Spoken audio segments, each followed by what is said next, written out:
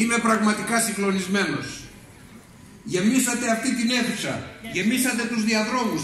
Άλλοι τόσοι είναι έξω και δεν ξέρουν τι να τους πάνε. Σήμερα προσυπογράφουμε ένα συμβόλαιο. Εσείς και εγώ. Ότι αυτή την πόλη θα την αλλάξουμε. Εσείς προσυπογράφετε την επιλογή του λαού και εγώ σας οδηγώ σε αυτό το οποίο έχουμε ετοιμάσει.